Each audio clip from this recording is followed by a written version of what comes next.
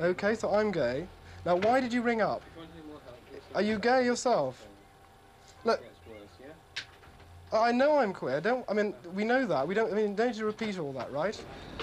And I said, oh, had you thought I might be? And she said, well, I, I wouldn't normally think about that sort of thing. And she said, but as long as you don't want to get me involved, she said, I don't mind, but I don't want to get into bed with you. Also, often a gay person is put across as um, a piece of fun or someone to ridicule, which makes it extremely tough on a young guy or a young person trying to come out as a, as a gay.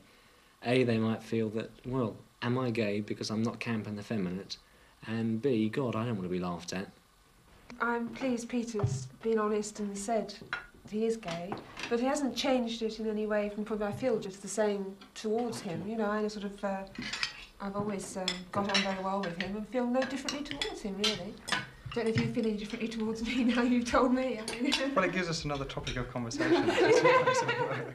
so if it's, I mean, it's like if somebody says to me, "Are you gay? Are you, are you bent?" is the usual expression in the East End. I say, um, "Yes, I am."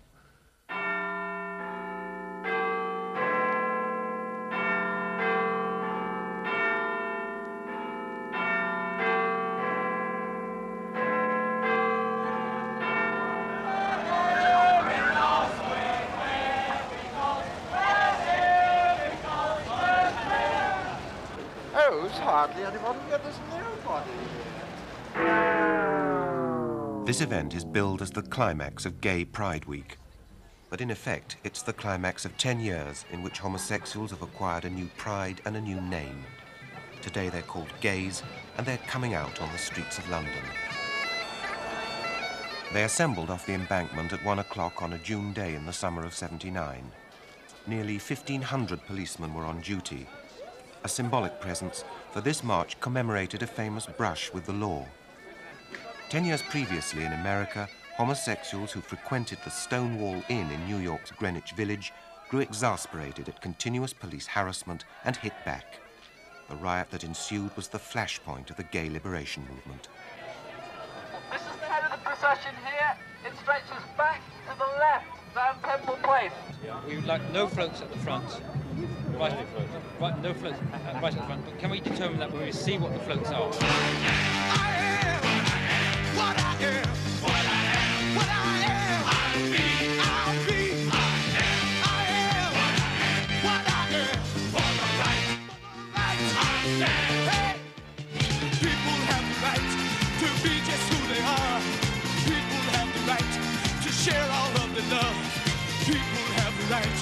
Share just what they feel.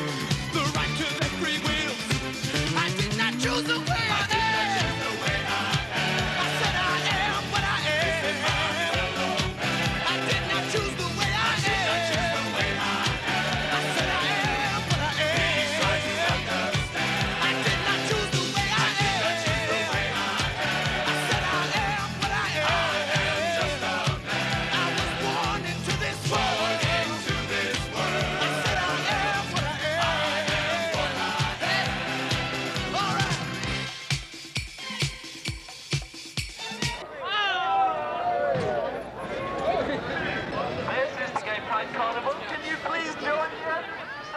Stonewall riot happened only a short time after another significant event, the Act of 67, which legalised homosexuality between consenting males over the age of 21 in England and Wales, but not in Scotland, Northern Ireland, the Merchant Navy or the Armed Forces.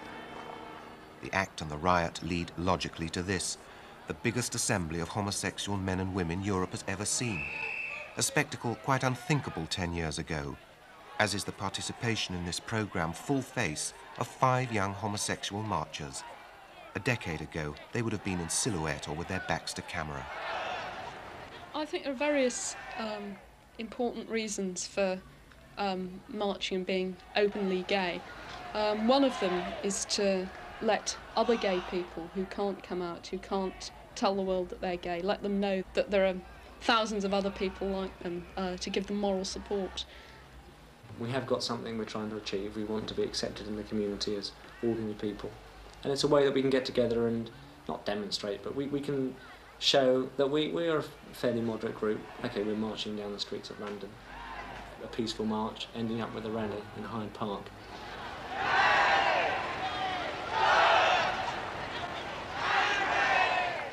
the march basically just showed the unification of gay people across the country. It gave people a chance to get together and it showed the public that we were semi-organised than we have been 10 years ago.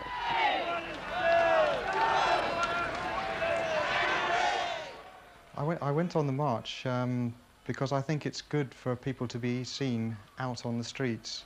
We tend to get criticised for appearing and confronting people when in fact we do better behind the scenes. Hello, sailor! Give us a G! G! Give us a Hey!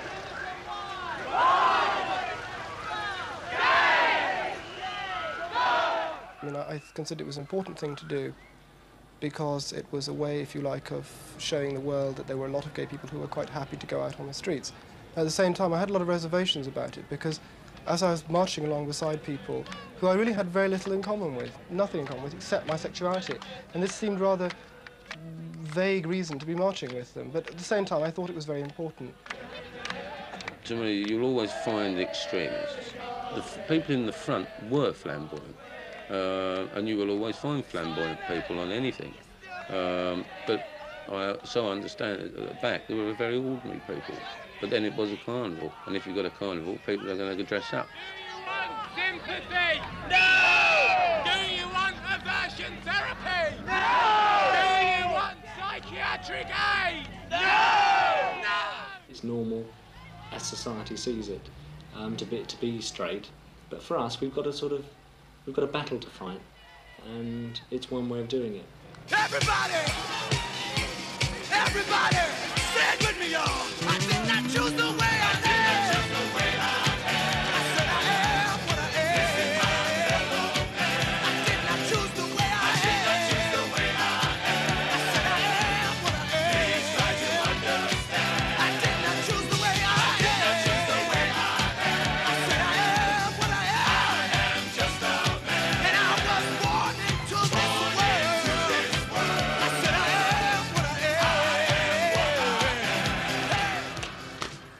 67 Act was limited. It's never stopped social discrimination or police harassment, and homosexuals are seeking changes. They want easier mortgages for gay couples, child custody for lesbian mothers, and a change in attitudes. For the sticks and stones of childhood cruelty, condition a homosexual to the treatment he can expect for most of his life. At school, I was called a proof sometimes, but I don't think it was because of my sexuality. In fact, I'm sure it wasn't. Uh, I think I was called a proof because I couldn't do some of the things that the other guys did. Um, I wasn't. I was never good at football, and because of my, well, I'm left-handed, and no one ever bothered to teach me to play tennis or any of the sports that you use when you're using your left hand. It hurt a lot actually. It went very deep. So I used to try and get my own back in other activities and other sports. I was always a, good at cross-country running things in this area or North London, it's sort of football. If you're not interested at football or good at football, you're out, and you must be a proof if you're not good at football. Jeff is 23 and works in a local government education department. He shares a flat in North London with his lover Steve, also 23. Hello. Hello. How are you? Okay. All right. Fine. Have a good day. No, bloody awful. What was wrong? They're committed and faithful to one another and intend to stay together. Remember on one occasion, I was sitting in a, a local pub, in, well, one- to where we used to live in North London, with a group of my straight friends and people I've been to school with and youth clubs and things like that.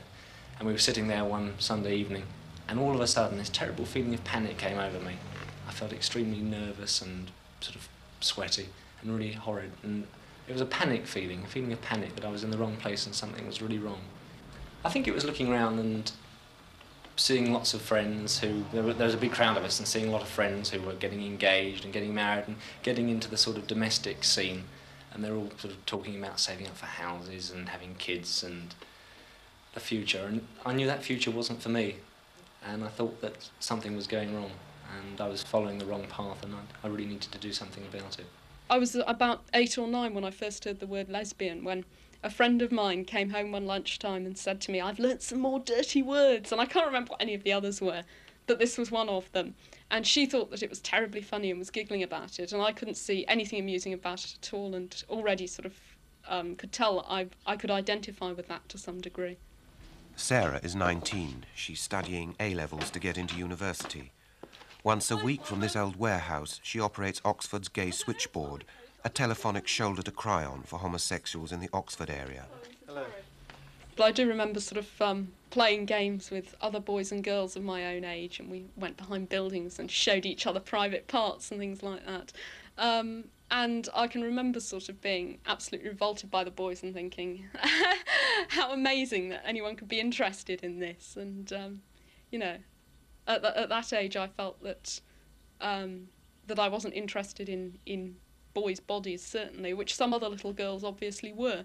I thought that I was bisexual throughout my teens. I mean, I just assumed, I don't know at what point I actually started putting it in those terms, but I um, assumed that I was attracted to men and women.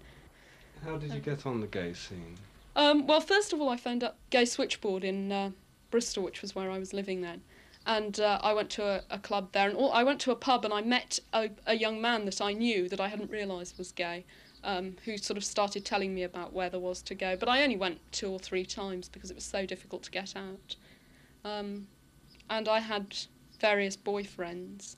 Um, and it seemed so much easier if I was bisexual to, put- to, to kind of try to be straight. I was brought up as a very orthodox Catholic, and, and one of my earliest feelings uh, before anything was inevitably guilt about most things, I mean, not only about sex, sex in general. Um, looking back, I think my first really firm homosexual feelings were about the age of 13 or 14. I mean, I remember at school feeling that I was different, but not quite knowing why. Um, feeling that I was attracted to other boys, but paranoid about doing anything about it. And strange enough, there were, there were sort of friends of mine who were doing something about it, and yet they were not necessarily gay. I mean, they just were sort of the sort of thing that does go on at schools anyway. Peter is 27. He lives on his own, but he has a close friend, Simon. In his spare time, he helps run London's gay switchboard. Peter is Hammersmith's press officer. He told them at his interview he was gay. I sort of had a beach test where I, I went on, if I went on a beach, I would see girls in bikinis and I'd see boys in, in, in swimming trunks. And however much, however hard I tried, and God, I did try, to sort of think, hmm, you know, that's a really nice girl. I'd try like to do that, but it didn't work. And constantly my eye would be sort of to the side, looking at, at um, the boys. And God, I, fight, I fought that like mad. I mean, I used to go to confession at the age of 15 and sort of be paranoid about this. I then travelled abroad for a year. And the strange thing was that as soon as I left Britain, I left my sort of home territory, the places, my friends, people I knew, I lost my inhibitions. And in fact, the first real, what I call my first homosexual experience happened in, in a ridiculously romantic way, but I had, I was going between Paris and Milan on the Orient Express in one of those sleeping cars with all the beautiful mahogany and wood and so on. And I discovered a connecting door. I opened the connecting door and started having a com- I didn't realize, I thought it was a wardrobe, and started and opened it. And there was this man there. And we chatted through the sort of trundling along down through France. And it sort of came out. He was much older than me, much, much older than me. And uh, it was quite straightforward about the fact that he preferred men. I think I asked him whether he was married, and he said, actually, I prefer men. And I was stunned by that. I thought, my God, you know. it, took me about an hour to say to him, well, actually, um, I, I, I, I, I feel sort of the same way. Um, and that was my first experience. Then I didn't look back after that. I, I was a pretty weak child, and uh, I used to get bullied by girls a lot in those days. And uh, you know, I used to fight back, and this, the only way I could get her back at this one was to entice her into the toilet. And once I got her there, bang her head down the down the loo. So which I was put brought up in front of the uh, headmistress. All I can remember is it was a church school, and she told me I was a very unruly child, that sort of thing, and uh, it was best that I didn't come back and she'd be getting in touch with my parents.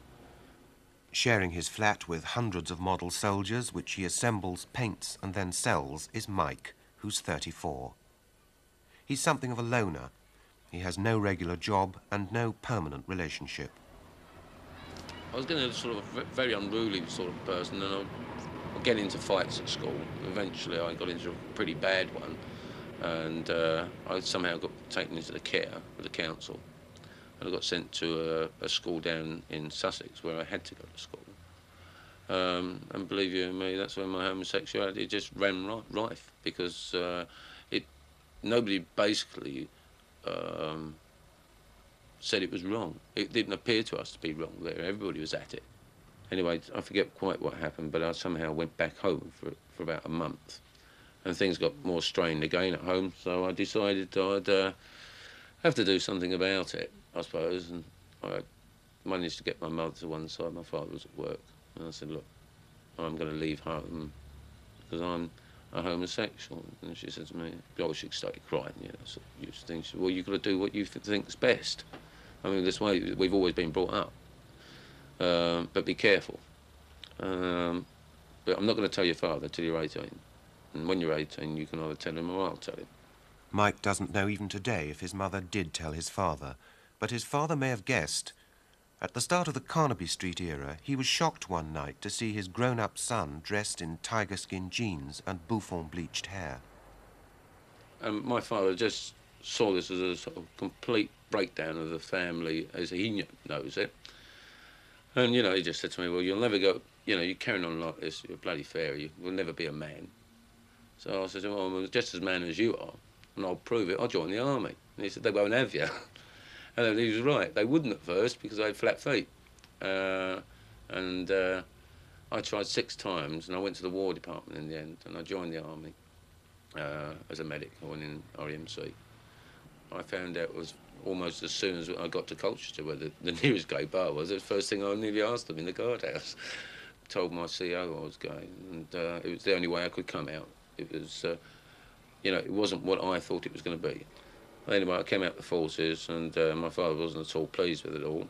Um, and I to stay at home for a while. I, I fell ill about that time. I had a nervous, well, really a nervous breakdown, and uh, I had to go to day hospital, into mental hospital daily. Uh, but I had some good friends, and they stood by me. And one of these friends was a doctor, and he got me to go to a party. And uh, I went to this party, and I was pretty high on Librium and goodness knows what they were throwing down me. And of course, did mix with drink, and I was pretty ill at this party. And a young guy there, um, Keith, he he looked after me, and basically the start of my first big relationship started over. I mean, it went on for eight eight and a half years. Um, and it sort of, you know, it, it only ended basically when the guy died in, an- in an air crash. I grew up in an atmosphere where all the um, my conditioning was very strongly heterosexual, and I internalized this to a very great degree, so that uh, when I was about 15 or 16, um, going out with the girls was the thing to do, and so this is what I did, and I enjoyed those experiences, although probably not as intensely as perhaps other people did. Peter is a sales rep with a major chemical company. He shares his Hampstead home with several friends, gay and straight.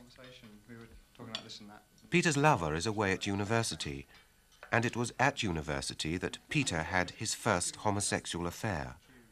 It developed secretly within a circle of friends of both sexes. But we kept it very, very secret, and none of the other people knew about it at all, even though we were spending a lot of time both with them and on our own. And several years later, when I told one of the other girls, who's still a very close friend, about the nature of uh, our relationship, she was absolutely dumbfounded. She almost had to pick herself up off the floor. And of course, you know, her reaction immediately was, why on earth didn't you tell us before? It's just that our conditioning was so strong that we felt this was just something which we couldn't obviously talk about because it was wrong. I got involved in a youth counselling uh, service which um, was a kind of all-consuming um, approach to try and help people's problems. And through that, met one or two gay people and then started going along with them to gay lib meetings, really just though as an, as an interested onlooker who was sympathetic. At the same time, I was going out with a girl whose previous boyfriend had committed suicide. And with the advantage of, of hindsight and chatting to her friends and his friends, it became fairly clear that the reason for that was because he was gay. We used to always to have about one or two suicides a year at the university, and in probably about 90% of the cases, it was because they had some hang-up about being gay or because of some experience which they couldn't cope with? When I first realised that I was completely gay, and I was now living in Oxford away from my family and didn't as yet have many friends in Oxford, and so it was, you know, quite easy to, to arrange my life as I wanted to for the future. Um, I decided to join the Oxford branch of the Campaign for Homosexual Equality. Um, in Oxford, the about half the active membership were women, which was very nice, and I found everyone was very uh, friendly and, and warm and supportive. Um, and I became active in that very quickly. Got onto the committee, uh, and um, uh, I met a young woman there called Katie that I became very close to. Um, I I hadn't had such a, a close relationship with anyone for years, um, and we were very good friends for a couple of months, and then she became my lover.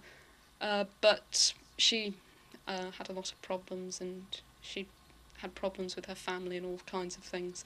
And she also felt very guilty about uh, being gay. She was a very devout Christian and couldn't really reconcile her homosexuality with her religious faith. And she took an overdose last September, uh, of which she died. And that was a, a terrible shock then. I was, uh, for about six months, I was just sort of a, a different person, really. Katie's funeral was very unpleasant. Um, the curate who gave the sermon spent the whole of the sermon talking about what a terrible sinner she was. Um, he said that she was someone who was acutely aware of her sins and that now she'll know what her judgment is. And didn't say, I mean, just fleetingly passed over that, oh, look, she had a lot of friends. Didn't say anything about the good things about her, the things that people remembered her for. Um, and it was it was very distressing and a lot of other people who knew her there were very upset afterwards and a couple of people actually spoke to the curate about it. Um, and after that I, I wrote a letter to the Archbishop of Canterbury in which I, I said that I thought that there should be a, ch- a change in the church's attitude towards homosexuality because and I told him about how guilty Katie had felt and how unfeeling the, the curate had been in his sermon. Um, and the Archbishop wrote me a, a kind, uh, if, if ambiguous, letter. Uh, he says, I'm afraid that many church people in the past have been very judgmental in their attitude to homosexuals and lesbians, if, as if that tendency were in itself sinful. It is not our sexuality which is sinful, it is what we do with it that matters, whether we are homosexual or heterosexual. Slowly, but I hope surely, Christians are beginning to be more understanding about these problems, and I trust that this may result in fewer tragedies like Katie's, and that people like yourself will find it easier to come into touch with Christians who have a positive and loving understanding of these matters. And my mother accidentally found the draft of the, the letter that I'd written to the Archbishop um, and phoned me up and told me that she'd found it. Um, and so now she knew that knew all about me and said she was going to see um, she said she was going to go and see the vicar about it find out what the church's attitude was and what she ought to be feeling. Um, and were you able to help your mother at all, or did was contact with your mother that good at that point? no no it wasn't at all good. Um, and the next time I saw her she started saying to me that um, I mean she was obviously trying to be kind and and said well you know we have these crushes lots of young women have crushes on other women and um, uh, you know, this is a phase you're going through, and if you didn't start thinking about homosexuality and these things at such an early age, then this, this, this wouldn't have happened. And um, I felt that she was really sort of reducing very powerful feelings of sort of love and sexual attraction to a crush, and it was, uh, I was very cross with her, and I was um, more angry with her than I should have been because she was trying to be kind. Um, my mother, I think, afterwards got quite uh, worried about that and uh, about me having said that I was gay and phoned my father at some point. My par- have I said my parents divorced? Uh, my mother phoned my father at, at some point and said, you know, Sarah says that she's a lesbian, and my father hasn't got anything against homosexuality. I think there is just some doubt in his mind as to whether I'm completely gay or whether I'm bisexual. He knows about um, relationships that I've had, um, and he accepts that, but I think that he thinks that I'm bisexual, or likes to think that. It occurred to me, in the words of Gide, that it was better to be hated for what you are than to be loved for what you are not. So I started trying to come out. About a couple of months ago, I finally decided to tell my parents, largely so that they would understand me more fully. I really had no, hi- no idea how to do it. Um, but went down to see them, and late one evening, finally answered my mother's question about where or who had given me a present that I got that was new. And I told her truthfully that it was my boyfriend. Her first reaction was fantastic, and she said very much, I'm your mother and I understand. Then, with the benefit of a night's sleep, it, she really, it, it hit her fully what she'd stumbled across, and she was really quite horrified. And I realised that I'd got to tell my father because it was much better that they had each other together if it was going to be a problem with their relationships with me. I really had no idea at all how I was going to react, other than, unfortunately, the whole thing was coinciding with the Thorpe affair, and every time some, a report was on the television, he was coming out with statements like disgusting homosexuals, and they live in a world of their own, and saying that he'd never met a homosexual or anything at all. And so my mother, of course, was getting increasing pressure on her. On one particular occasion, when he was holding forth about something, she finally broke down and told him that they'd got problems enough of their own, or we'd got problems enough of our own. It certainly stopped him in his tracks, and he was certainly a bit quiet for a while. But after he'd had a chance to think about it, he said that, or he commented that I was just the same Peter, and seems to take it very well. And told my mother that it wasn't a burden for them, but it was a burden for me, and that they must do all they can to help. I suppose the most difficult part of my coming out, and I think it's the same for everybody, is probably their parents. Um, obviously, I felt compelled to talk to my parents because of the making of this film. I mean, obviously, they couldn't sort of suddenly see it and think, oh my God, you know. So I felt I had to do that. So it was a matter of days ago, really, that I actually did talk to my father about it. Um, obviously, it's a very personal thing in that I'm very, very close to my parents. Um, it's difficult to say, to go up to your parents and say, I am gay. It's such a strange thing to do. And what is it to them, really?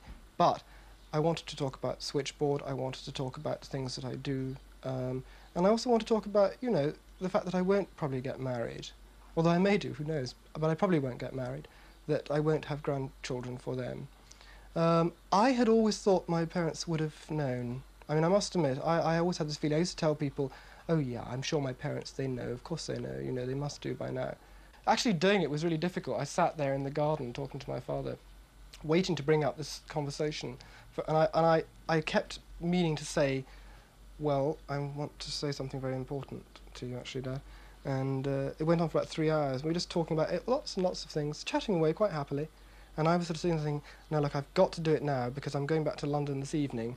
And, you know, I was sort of missing train after train after train until eventually I just, you know, launched in. And once, and once you've launched in, that's okay. The thing is, actually, it's the launching in which is difficult. Once you've done it, there's no going back. You suddenly can't go back. So you might as well go on, and it all comes out, and that's fine, you know.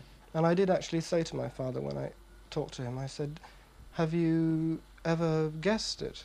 I'm expecting to have the answer yes. And in fact, he said no, um, which was a great surprise to me. And when you think about it, it's not, it shouldn't really come as a surprise because why should he consider it? Jeremy, my younger brother, was living with me uh, locally, and I wanted to tell him that I was gay because he might have wondered why guys were coming back, and I was sort of spending a lot of times mixing, a lot of my time mixing with other guys. And one day I, I told him that I was I was gay, I was a homosexual. In fact, he'd found a, co- a copy of Gay News, and he said, "What was I doing reading magazines like that?" And I said, "Well, I'm a gay guy." And he was very upset. Um, he really was upset, and he thought it was wrong. He thought I was sick. He thought he was going to do something to cure me. Well, I decided that I, I wanted to tell my, my mother and my, my family. And she was staying for a weekend, and I thought it was an ideal opportunity to tell her that I was gay. And in fact, she was doing lots of other things while she was up here, and she was popping about. But I said, I must have a chat with you. I've got something I want to say. I said that I was never going to get married. She'd been asking once or twice and saying, oh, it was about time you settled down and got a nice girlfriend or got married. Which worried me a little bit because I never actually said, no, I'm, I'm not going to get married, I don't want girlfriends. I just sort of said yes and shrugged it off. But I wanted to tell her, I wanted to be truthful and say that I, I was a gay guy and that I intended to lead a life as a gay. And we sat down in the chair and I, I told her. And initially she was very upset, she cried, and it disturbed her a lot because the only other gay people that she'd met, I think, were fairly sad characters, lonely people. A lot of them were very camp, but I think that went back to her early work days in the sort of 40s and 50s.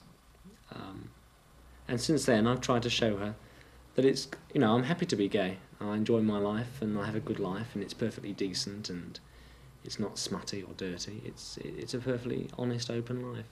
And we get on very well and she accepts it fully and she likes Steve and we have a very good relationship with him. We asked our five young marchers to approach their parents to take part in this film. All said no, except Jeff's parents. Down in Bournemouth this weekend, we come down here quite a lot, and we came down, or we've come down because it's was Steve's birthday yesterday, and it's my parents' wedding anniversary next week, and we hope to go out for a meal later this evening.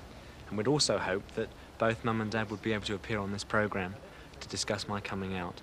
But unfortunately, there's been a certain amount of family pressure, and she has been told virtually by some cousins and my brothers and sisters that she cannot appear on it.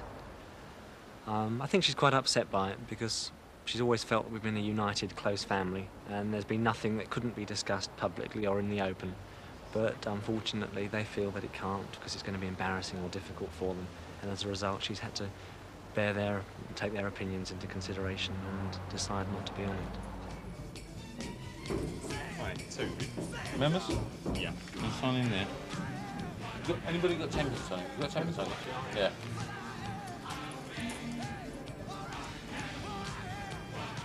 Jeff and his lover Steve are signing in at a gay disco in Walthamstow, North London.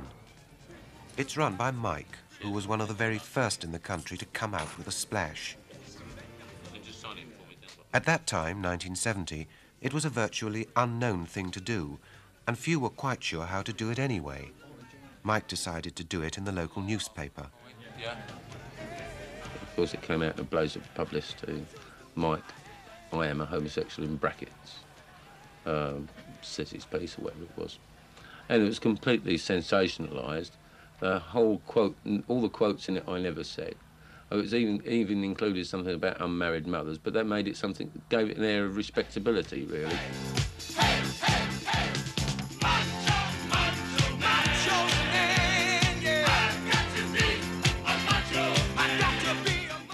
Things are more relaxed now, but in those days, Mike's punishment for coming out was the loss of his home, two jobs, and all his gay friends who felt tarred with guilt by association. I'd stuck my neck out, and many people were trying to chop my head off. And that's what it all boiled down to, really. Um, you know, I went through a period of time that I was completely isolated by the gay community within the area that I lived in.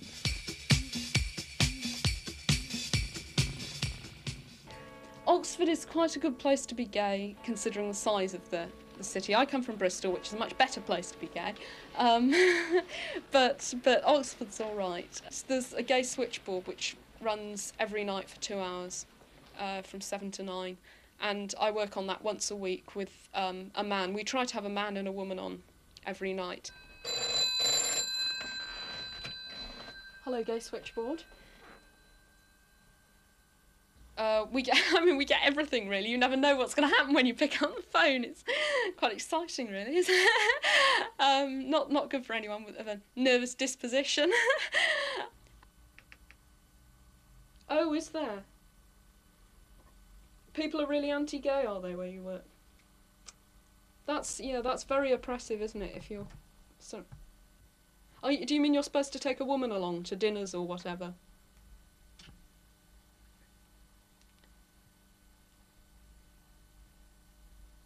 Yeah. most calls are for information. Where is there to go? What meetings are there? Socials. We get a few hoax calls. Um, we get some people who really are very hung up and upset. Okay, thanks for ringing then. Okay, bye bye. Um, he he just wanted to know where he can meet gay people and was he's not had any relationships or anything. And he said he's just been kind of putting off the evil day for as long as he can and he said he works in the civil service and so he can't he feels he can't come out. He's doing something to do with the boys in blue. and um, How old is he? Do you know? no, he sounds as if he was in his thirties, I should think. Hello, gay switchboard. Oh, hello. This call is from a 70 year old retired civil servant of that repressed generation which could not and still cannot come out fully as younger homosexuals do today.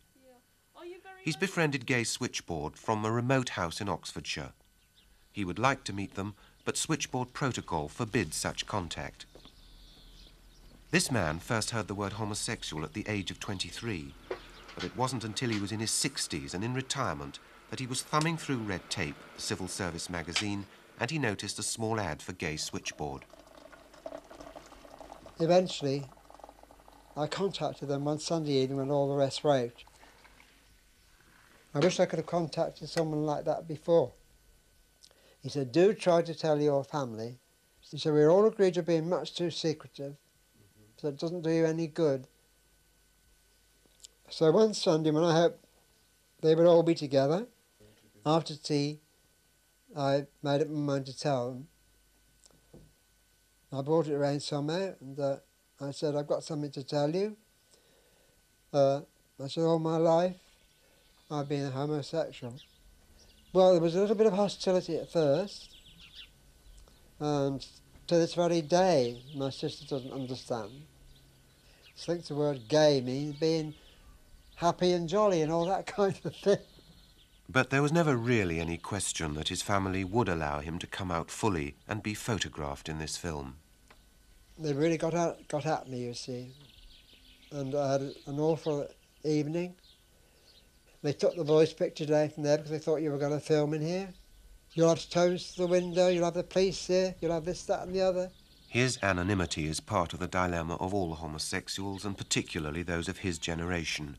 A desire to come out, but a fear of hurting family and friends. Even so, he wished it to be known how Gay Switchboard had changed his life. And uh, I'd no sooner finished and got it all over than the male members went over to the pub and uh, turned straight round to the telephone to see if I could get hold of one of my good friends on the switchboard. And I told him that I'd done it. And he said, I admire you very much for what you've just done. If I show a bit of emotion, I don't be surprised.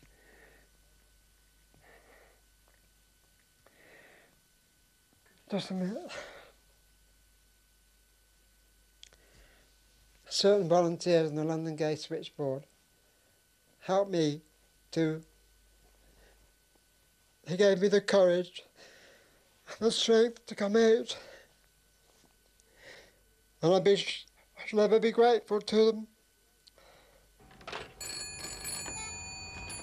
Hello, London Go Switchboard. Can I help you? Yes, of course I'm bent. That's why I'm here. No, L O N G. You don't like bent people. How unfortunate for you. You must lose out an awful lot. Why did you bother to phone us off if you don't like bent people? Hmm? Don't look. What's the point of shouting abuse at me, really? I'm not a My commitment to London Gay Switchboard. I mean, I I really do often wonder about it, as to why I do it. Um, really, all I can say in the end is that if I felt I wasn't enjoying it anymore, I would leave. I would stop. Look, I bet you're I bet you're frightened to actually talk seriously to me. Yeah. No, why look? Jeez. Hmm. Still. It's all worthwhile. What we can offer people is, um, rather like, say, Alcoholics Anonymous, we can offer people the fact that we're all gay. Uh, they can talk to us without the least worry that we'll, we'll sort of criticise them for their sexuality. And nearly all cases of people who ring up who are finding, uh, say, just coming to terms as being gay, their uh, major problem is that they've never told anybody, not even their closest friends, their parents, nobody. And that we're the first people that they can talk to. And they wouldn't do that to Samaritans or whoever because they would feel that, you know, it was a dark, dirty, disgusting secret that they were guilty about. Club, rear of the bell Does it? tower. Do you feel very guilty about it? Yes, you do. The First Tuesday every Why do you think that is? there. is? I um, I mean, what do you? First of all, How do you? What do you think gay that- you know, people are frankly, like? What one discovers at Switchboard is that homosexuality covers a whole range of society. So one minute you're going to be talking to a 19-year-old building site worker who just has no clue about homosexuality, and he's suddenly, if you like, he feels he's been struck with this disease. What can he possibly do? And, and he hasn't got a clue. There's somebody coming. You've got to go. Well, look, give us give us a ring. We're open 24 hours, okay? All right. Bye bye then. Um, but it's simply that I do enjoy doing it. I also learn as much as the callers. I mean, the whole point of Switchboard is that it is a two-way thing. It's not just a service um, that we provide. But you're walking home and you got raped, and you're a man. Yeah, How old are you? July 28th. Okay. How old are you? You Sorry? Something all right? 17. Why did you Why did you ring us? I mean, where, where did you get our number from? Uh huh. And what? I mean, this is the first experience you have, and you think, you, when you say he raped you, I mean, what? Did he grab you in the street? Uh huh. Whereabouts is this? Whereabouts is this? In Scotland. Are you phoning from Scotland? Gosh, that's quite a long way to phone, isn't it? You do know the legal situation, don't you? Yeah, that it's in Scotland, it's totally illegal to be gay at, at all. Do you know that? Because in England and Wales, you have to be over 21 to have sex with another man. But in Scotland and Northern Ireland, you it's still illegal. I do get depressed sometimes at Switchboard. I get a, a call from somebody who's stuck up in the north of Scotland who there really is no hope for at all in many ways. They may be 50 years old, married with two children. They've suddenly come home one night and said, I can't face it anymore. What do I do? And I mean, who am I? I mean, I'm 27, okay, I've had some experience. But who am I to say what they should do? Other than try and instill in them that the only thing that matters is dignity. I mean, life is going to be difficult for, for all sorts of reasons, not, not nothing to do with homosexuality. But get people to be able to treat their lives with dignity. That's very, very important. That's what Switchboard is about, basically. Okay. Yeah. 776. Run out of 2p pieces. There's times when I get thoroughly depressed, and I would like to pick up the phone and ring gay switchboard and speak to somebody myself. But I've become, if you like, I don't. This is only how it appears to me, but I've become a sort of uh, a figure of coming out over a period of years. People know of me, even if they don't know me, they know of me. Um, perhaps all right. Oh, I don't want to get down. I to. I don't want to step down and let them know that I'm really screwed up and I really want to speak to somebody. Uh, so I suffer most of it by myself. I think my parents were most concerned about whether or not it would have an effect on my career. I tried to reassure them, although I myself think that almost inevitably it will. But that's one of the problems that we face, and that it's only by more and more of us coming out that attitudes within the business world will begin to change. I think I've gone through the the tricky or the harder side of being gay, the, the coming out, the adolescent period when you get confused and a little bit depressed. I've come out to my family and I've been accepted. I've come out to my friends and I've been accepted. Um, and I really wouldn't like to change for anybody. No, I'm happy the way I am, and I enjoy my life. It's the way I want it, and it's, that's the way it's going to be. It's all very well people, or saying to people rather, that, oh, I'm gay, you know, and they say, oh, how wonderful, I'm, you know, really marvellous, I think you're terribly good, you know, gay and telling everybody. But the crunch comes when they then, by implication, for instance, you then have to get across the fact that you enjoy sodomy. And that word is still covered with emotion in the same way that, say, incest and rape is. But why? I mean, rape is, is violent, it's a completely different um, thing altogether. I mean, sodomy is something between two consenting people, um, which is very very pleasant, very okay. I mean, why the sort of this incredible taboo about it? And I mean, that barrier is the biggest one to step over. And there are a lot of gay people who are not, who don't enjoy sodomy, who don't enjoy screwing each other, um, uh, and who don't indulge in it. So therefore, you know, I'm not saying that's the whole, all gay people, but for me that was a very, very important thing indeed. I haven't had any problem with reconciling my religious faith of my um, sexuality because I've been brought up in a very um, accepting tradition. I was brought up as a Quaker who in 1963, quite, the Society of Friends published a, a booklet saying that homosexual relationships should be judged on the same basis as heterosexual relationships, i.e. on the, the quality of the relationship and not on the sex of the, the people involved. Um, and I've, you know, I've found Quakers are, are, have been very accepting and understanding. And also Quakers aren't biblical literalists, so I've never had any of the sort of hassles that evangelists um, find they have with, with all these, um, you know, uh, their this interpretation of Sodom and Gomorrah stories and that tells them how wicked they are. There's a march coming up the Park Lane behind you now. I see, yes. How, how do you feel about people like that walking on the streets displaying? Well, to be quite frank with you, um, being a Christian, a practicing Christian, I believe myself, as it says in the book of Leviticus in the Old Testament, in the Jewish law, it's an abomination. And I believe even the Methodist Church, who have said that it's a sickness in the mind, but it's not. It's of the fa- it's of their father, the devil. It's it's the, the Bible says the heart is deceitful and desperately wicked. It's a, it's a, it's of the devil. It's not of it's it's of man himself So what do and you of the think ought devil. Well, to be quite frank with you, I think the laws of the land are wrong myself uh, in allowing this sort of thing. I think it shouldn't be allowed on the streets. That's my own personal opinion. Being a Christian, a practicing Christian, right here behind I think it's disgusting to be quite frank with you. I think man ought to go with a woman and woman ought to go with a man. Legally married, the lot. You know, this is this is how it should be. I, I don't believe in this sort of thing. I think it's wrong. It's an abomination. It's filth.